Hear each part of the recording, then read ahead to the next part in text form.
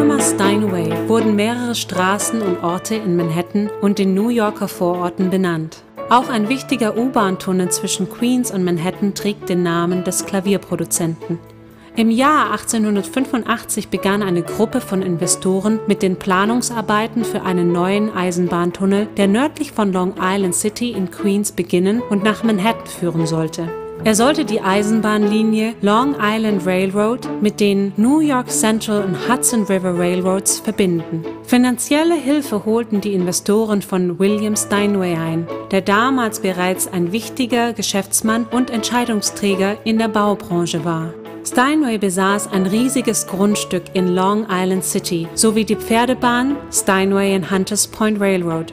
Er interessierte sich sehr für die neuen Möglichkeiten, die die elektrische Infrastruktur und Triebmotoren im Eisenbahnbetrieb mit sich bringen würden. Deshalb bestand er auch darauf, dass im Tunnel elektrische Leitungen gelegt werden.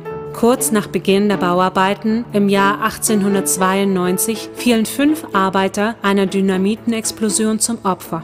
20 weitere wurden beim Tunnelbau verletzt. Kontinuierliche auftretende Probleme sowie die Börsenpanik legten die Arbeiten im Jahr 1893 lahm.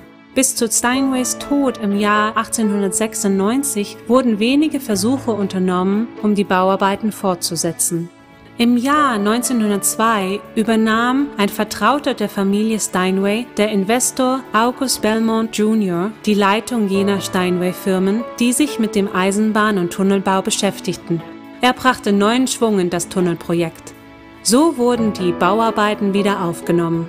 Nachdem der Tunnel zwischen 1907 und 1915 nur in unregelmäßigen Abständen in Betrieb stand, kaufte ihn die Stadt New York und restaurierte ihn langsam.